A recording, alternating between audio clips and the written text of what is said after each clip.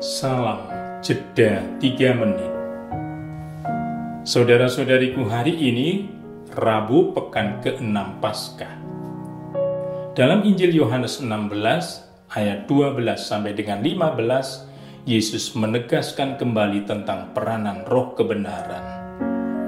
Yesus menjelaskan bahwa roh kebenaran akan mengingatkan kita pada seluruh kebenaran yang diwahyukannya Roh itu akan menuntun kita pada seluruh kebenaran, yakni Allah itu sendiri yang dalam Yesus telah menjelma menjadi manusia. Maka, dengan frasa hal-hal yang akan datang, yang dimaksudkan adalah menyampaikan kembali hal-hal yang sudah dikatakan Yesus dengan makna aktual untuk setiap generasi dalam zaman yang berubah-ubah. Firman Yesus itu kekal dan menjadi inspirasi untuk memberi solusi bagi persoalan hidup manusia dari generasi ke generasi.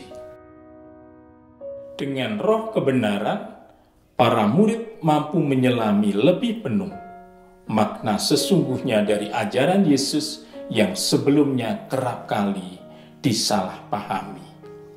Dengan demikian mereka akan mampu pula memberi pengajaran kepada dunia untuk menjadi penyembah-penyembah yang benar, yang akan menyembah Allah dalam roh dan kebenaran sebagaimana dikehendakinya.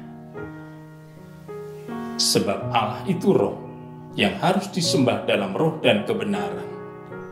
Dengan cara itulah para murid menjadi saksi Yesus sebagai satu-satunya jalan menuju Allah Bapa, di mana roh kebenaran itu tinggal.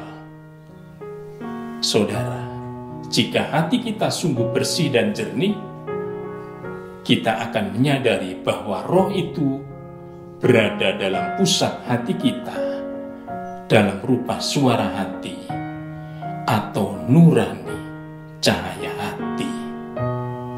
Damai bagimu dan salam jeda tiga menit.